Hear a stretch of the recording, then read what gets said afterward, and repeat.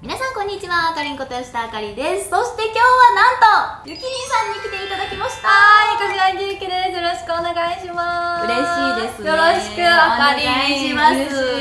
そう、ゆきりんさんのチャンネルの方でもコラボさせていただいたんですが、私の方はですね、まあ今、元 AKB、元 AKB です。元？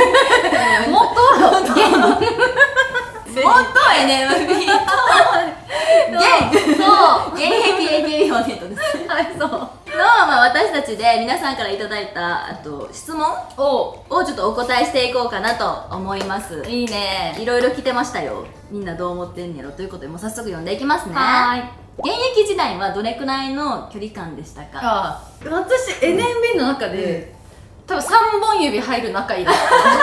待ってそんなに関わらなかったんですか？他のメンバー違う違うやっぱチームがまず。まあ確かに。ゆきりんさんと、まあ、ミルキうーとあと私と誰やろん。でもミルキーチーム。チーム違いましたね。そうだからやっぱチーム同じの方が公演とかそツアーとか？チーム N のあの組閣なんか大組閣が行われたんですよね、うんうんうん。で急にもうめちゃくちゃ地方の子とかも移籍とかしまくって NMB のチーム変わったのも初めてあの時。初めてです。初めてか。初めてです。それこそここにだって天使はいる公園っていうチーム N の1期生が主となったチームが、やっとね。そうやっとオリジナル公演をもらえて20回しかしなかった。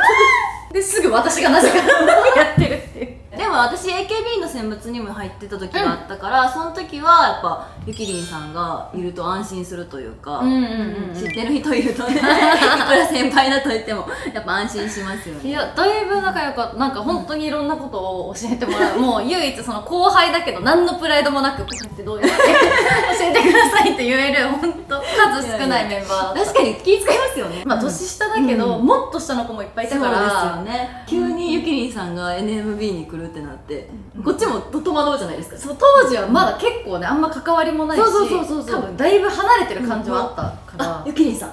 選抜の。ゆきりんさん。って感じやった。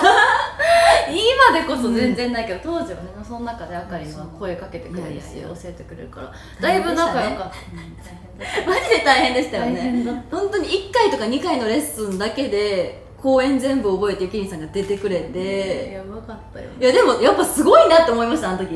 なんでこんな短期間のレッスンで私らあんなに時間かけて覚えた公演をゆきりんさんはパッてできんやろって本当に思いました。やっぱ後から一人だけ入るから、しかもやっぱね一応先輩だしうんさすがにやんなきゃ。でもやっぱ、でも実際ちょっと覚えてこない人とかもいるじゃないですか。いや。ばるじゃないですか。絶対乗っからないわ。私ゃないですか。だってや確かに。そうよ。それはもう全然覚えて先ない輩後輩関係なく、うん。それはもう人で人ですよね、うん。後からポジションに入るってなったこれ AKB も NMB も共通だと思うんですけど、うん。その人のためのレッスンっていうのは基本的にないんですよ。そうなんだよね。自分で映像渡されて覚えてきてねっていう感じで、当日のその本番前のリハーサルで初めて合わせてでぶつからないように移動の動線とかだけチェックしてっていう感じなんですけど、その時点で全然覚えてないやんって思うんだ。いるんですよここ朝来て、もうできる人の中に入るの分かってんのに、いやよくその状態で来たらってやつがいるんですよ。あかりも全然そんなことは全くな私はちゃんとちゃんと超優秀。だって AKB の中に入ってポジション覚えてないって結構本当シビアなところに行ってるから。私入った初めての選抜が、えっとシュートさん小島さんの卒業ソングやったからまだその時指原さんとかも確かにマユさんとかもいらっしゃったし。そうだそうだそうだそうだ。みんないたもんねまだ AKB と NMB ってグループの雰囲気とか何か違うところってあるんですか？どっちもどっちも言ってるからあ分かるよ確かに。ね自分のところも違うところも分かるけど。どうでした？いや全然違う。全然違う？うん全然違うと思った。いいことでびっくりしたのは、やっぱ練習熱心。やっぱり NMB のへ揃えるとか、できてない子をないがしろにしないというあー。かちゃんとできるまでやるし。体育会系ですよそう。ねめっちゃ。なんかできてない子にちゃんとみんなが合わせてくれるし、うん。でもできてないと置いてくよっていう体育会系のノリもあるみたいな、あ確かに。なんか本当そのバランスがすごくて、だいぶやっぱその行った時はもううん。AKB も8年ぐらいをやってて、もうちょっと先輩ぐらいになってたから、うん。だいぶぬるま湯にいたわけよ、うん。AKB でそれで急に見に行ったらやっぱ、初心ちゃんとしなきゃ。ゆきりんさんが多分こっちに来てた時はもう多分 NMB も4年目とか、うんそうだ2014年とかやからまだちょっと私たちまだ初々しく頑張りますみたいな時やったから。久しぶりに名指しで怒られたもんやっぱやばーっと思って。そうですね。毎回反省会とかもちゃんとあってそう結構怒られるんですよね。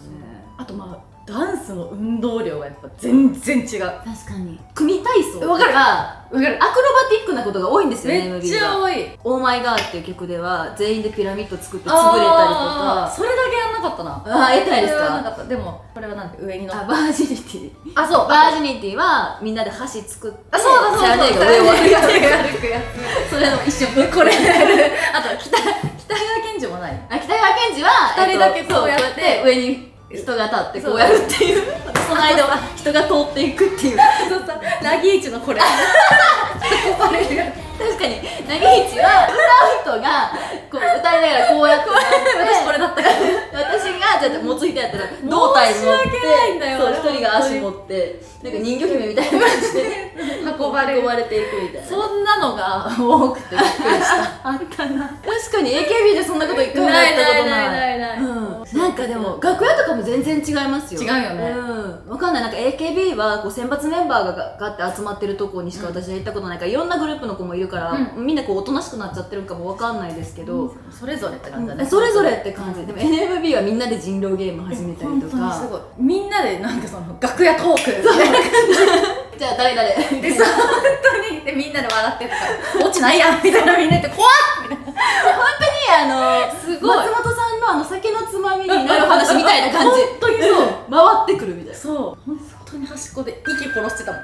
笑い取らないと怒られるしね。そう。全然だから違いますね。違いはいっぱいある。女の子のグループじゃない。ああうんそうだね。AKB は女の子のグループ。確かに、うん。すっごいキャピキャピしてるわけでもないけど、なんか確かに本当に女の子だね、やっぱ東京の子って感じか。ああ、シンプル東京と大阪のもう街の違いと一緒かも。高校で言うとそう分かりやすいかも。ち東京の女子校と大阪の女子校はい こんな感じだと思います。そうだね。これはどうやろう？ステージ上から見て、うん。映えるファンの人のメイクを教えてください。おへえどれぐらい見えてます実際？でもそう顔でやったらだいぶ見えるよね。そう顔で言ったらだいぶ見えるけど。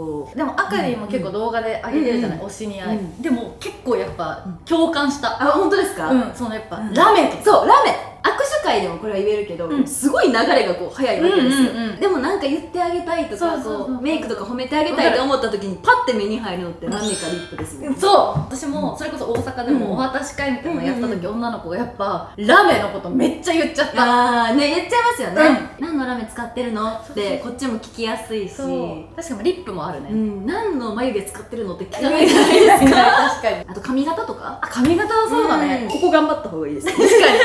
もうこの、ねなんか肩爆発してる服とか着といた方が本当本当着た方がよくないですここのボリュームあるやつとかね。あそうそうそうそうあー確かに確かになんかめいちゃうじゃないですか。確かに。だってファンの人の男の人で考えてもなんかこう着ぐるみとかつけてるようなこう人いるじゃないですか、うん。ああいうの見ちゃうもん。握確かに。手会はまあ近いからこの辺で頑張った方がいいけど、ステージうんの時とかは結構大きく頑張った方が確かに。パッと見で分かりやすい。いいですね。それはあるかも。じゃあこれはちょっと似ちゃうかもしれないですけど、推しに認知されるためにはどうすればいいですか、おうん、どうやって覚えてます？いやシンプル記憶力ですよね。本当に。あと通い続けてくれることですよね。うん確かに、でもそのやっぱ会話とか見た目のインパクトでうん。一発で覚えれる時もある、ありますね。うん。あれやめた方がいいですよ。何？覚えてください。あれ絶対あかんと思う私。結構しっかり言うんだね。言います言います。あのはい認知してください。覚えてください。あれは本当にやめた方がいい。確かに。そう覚えてくださいの間であなたの情報をちょうだいよ。って思っちゃうそう。覚えてください効率を考えた時そう。にそれ絶対言った方がいい。確かに。どっから来たとか、うん。なんか好きななんかね何？印象に残ること欲しいね。そうなんですよ、うん。私何々が好きで何々見て好きになりましたとかあの方言ってくれたが全方が然わかる。あこれ見て好きになってくれたねやけど覚えてくださいって来られても何の情報もないんですよ。確かに。大正論すぎる。そう、ん。私現役時代からずっと思ってたんですけうどわ私は思ったら考えたことなかった。本当にそうかも。そう。でも言えなくて卒業してみんなの気持ち代弁して代弁して言ってくれてたんだ。そう今言いますね。本当にそうかも。あとやっぱけなげに名札ずっと続けてくれる人はありがたい。嬉しい。めちゃくちゃ嬉しい、うん。ちゃんと別に見なくても覚えれるようになるし、ね、絵がさ頭に残るから、ね覚えやすいよねあとあのツイッターのアイコンとかコロコロ変えないでほしい。わかる。めちゃくちゃわかる。ツイッターのアイコンでめっちゃ覚えるのあるよね、だからアイコンのコピーとかをこうめっちゃ名札とかにつけてきてくれると、めっ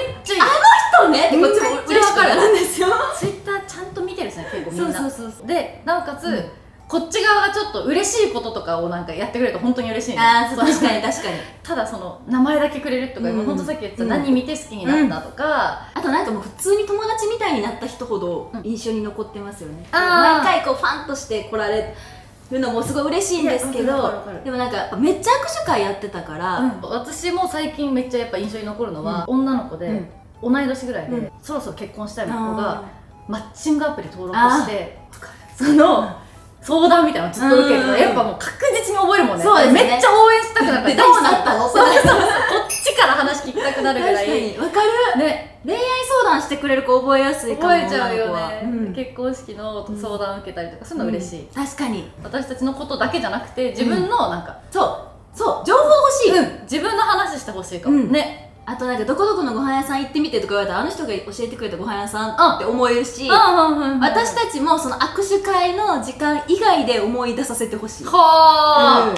素晴らしい。本当にそう。かもしれないですね、美味しい食べ物を教えてくれるとかめっちゃ嬉しい。あ嬉しい。あの人言ってたやつ美味しかったなってなるから難しいですよね。でもこれってこっち側にしか多分分かんないわかんないじゃ感覚。だって向こうは絶対良かれと思って、そう。覚えてください。言うよね。悪気ないんだよね。そう。嬉しいんですけどね。好きとかこううん可愛いねって言われるのは嬉しいけどでもまあ変な話何人も一日握手させてもらってるからうん。被らない方が絶対に印象には残るかも。その認知されたいなら、はい。っていうのに関してはそうだね、うん。これねが真実だと思う多分。真実ですこれが。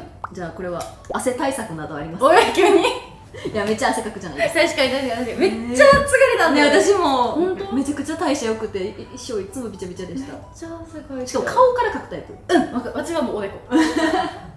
前髪びちゃびちゃ系ですだってメンバーでも全くさ顔だけ描かないうん。人いるよね、うん。なんであれやってんの？私でも対策しなくていいと思う派で。出した方が綺麗になると思う。いや確かに止めるのはだいぶ体に良くなさそうだ。そうですよね。例えば脇汗目立たないように分かりにくい色の服着るとか、うん多分そういう対策はできるけど止めない方がいいなと思ってて、うん。っていうのもアイドル卒業してから、うん。肌がやっぱ荒れるのがうん。気になって、毛穴とかもなんかもっと綺麗かったのは多分、毎日顔からとんでもない量の汗を出してたからめえっちゃ綺麗かったらなって。ライブ終わりってめっちゃ肌綺麗くないですか？わかる。全然。もうむき卵みたいになるじゃないですか。あれがなくなったんですよ。そういうことか。卒業してから。だからちゃんと運動しない限り汗かかないくなっちゃうもんね。半身浴とかまあするけどそんあの量かけないじゃないですか。確かに。だから汗かい全然いいよ、ね、書いてください。あとはまあそのメイクでね、ううんまくそのちょっとこうテカリを抑えるとか、うん。そういうことはできるけど、うん。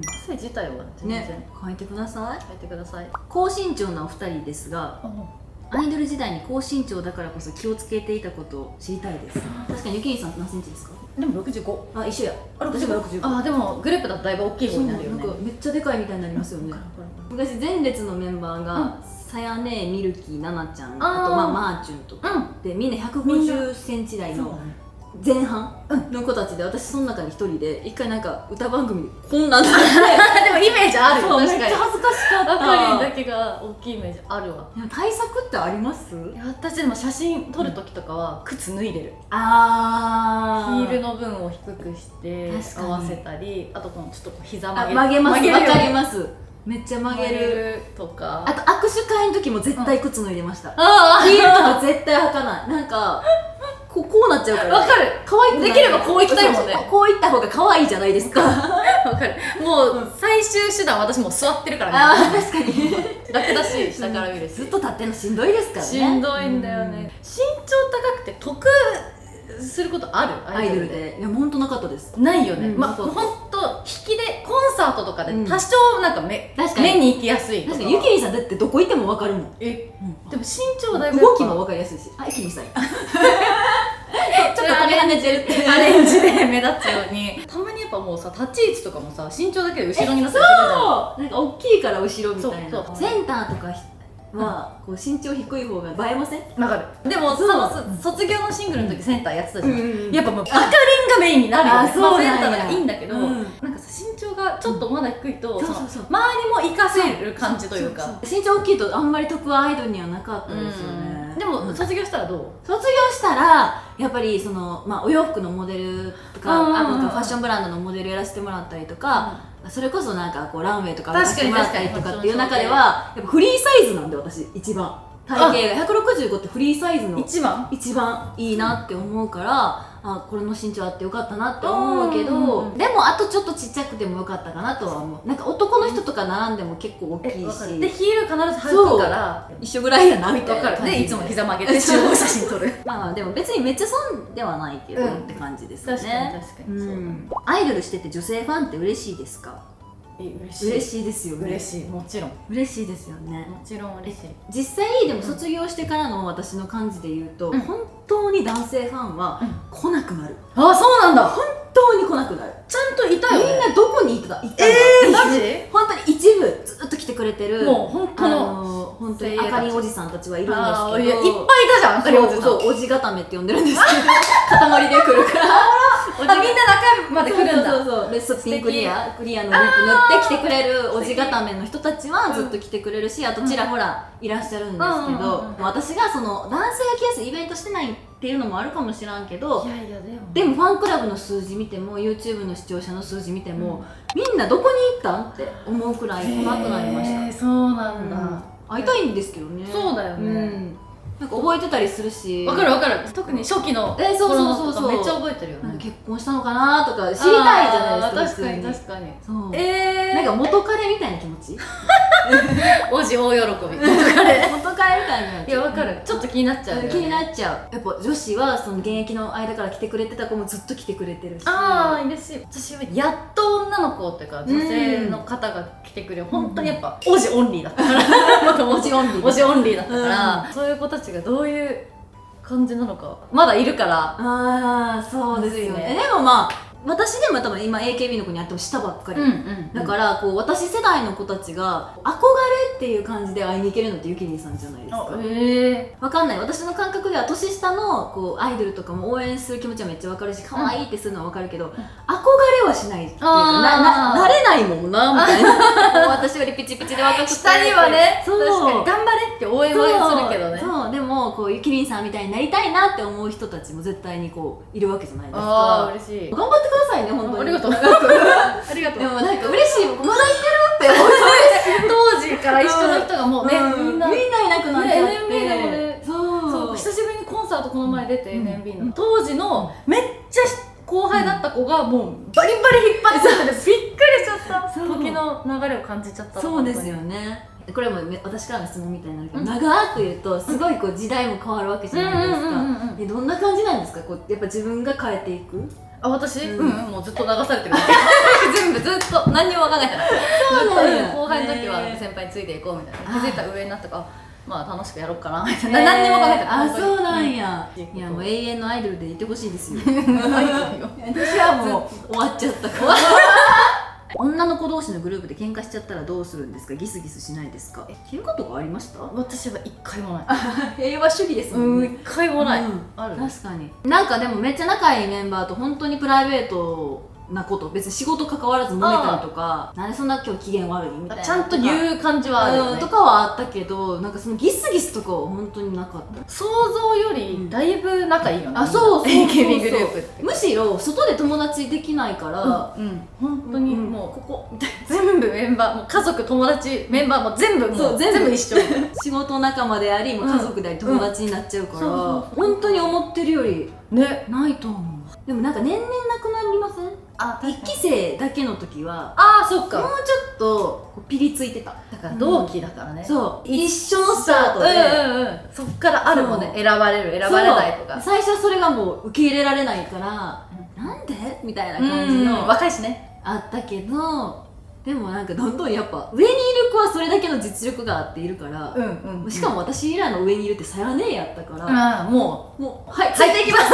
そうですよね。ありがとうございます。引っ張ってくれて。私ももう後輩と思ってなかったもんさやねのこと本当ねちゃんとしてたらね。ねやっぱすごいですよね。意外と裏ではちょっとお子ちゃまなとこあって可愛いねああだからうん。同期とかで喋ってると、めっちゃふざけてるの見ると安心する。あそうやねもうこういうとこあんだな。確かに側から見てると本当に完璧にイメージ合いすぎるけど。本当に。本じゃあちょっとダイエット系。食べ過ぎた次の日リセットとかはどうしてますか？キリンさんダイエットします？いやほとんど本当にほとんどしないんだけずどっとずっと一緒の体型ですよね、えー。すごい本当に。でも多少うんのあるけど、まず家に体重計がないからえー。分かってないって思ったんだけど、あー。自分で。めっちゃ寝るのよ私。本当に。だから仕事のギリギリまで寝るから、仕事が例えば本当に運よく2時とかうん。3時とかになったらもうそこまで寝てるからそしたら2 え食自動的にカットできる。確かにゆきりんさん現場でお弁当を一番楽しみにしてむしゃむしゃ食べてるイメージある。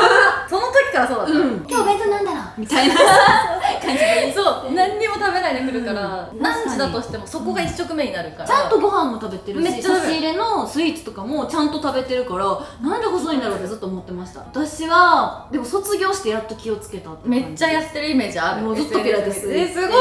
やってます。めっちゃ気になる。どうピラティス？めっちゃいいです。いい？私も一回もないけど唯一今本当気になってる。え本当に骨ってここにあらないといけないんだとか。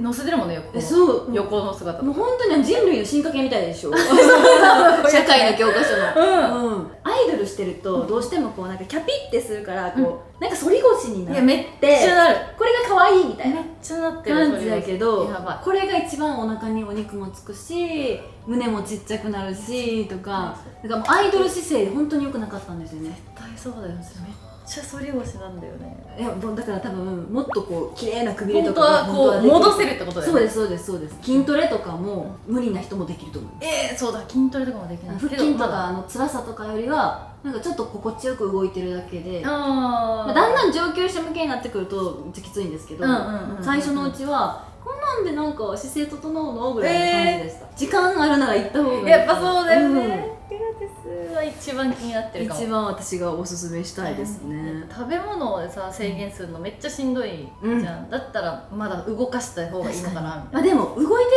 間は大丈夫ですよ。今？めっちゃ踊るじゃないですか言っても動く時はね、まあ、確かに急になんかライブとか何もなくなそうそうったら、ね、そう。そう意外とさ、うん歌番組とかで2分とか踊るだけだから。確か意外と。しかもちょっと前髪崩れへんようにちょっとねちょっと控えてるじゃない？ですか映ってない時とか抑えてる。そうそうそうかピラティスね、うん。おすすめですね。じゃあ最後はいはい。面白いファンの人のエピソード なんか強烈な人ファンエピソード強烈な人。下着のモデルをねあややってて私もやってておじが下着を買うと、ん。あのポなんか写真もらえるみたいなポストカードみたいなね。そう写真が欲しくって、その下着をやっぱ買うってくれて、うん。で大体男性は例えばその彼女にプレゼントしてるとか、ね。あとメンバーにあげられないから素敵だから下着ダメですまあ、どうにかまあ保管してるみたいな、うん。その人は何を思ったかその、T シャツの上からこうなんか 一旦つけてみたいってなったら王子がね。つけてみたらハマっちゃってその下着可愛いみたいになっちゃったその王子が。T シャツの上にその毎回私のそのモデルのやつを今日はピンクビスチェみたいな。ビスチェ。そうそうそうそう。めっちゃおしゃれに下着をつけてくるようになった、あの人はいる。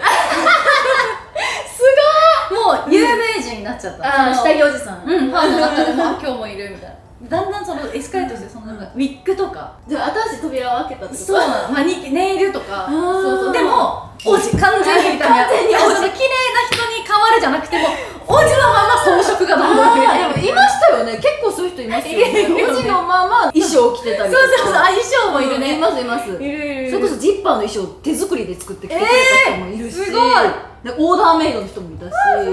すごい本当にすごいですよね、私なんやろ。強烈なファンの人。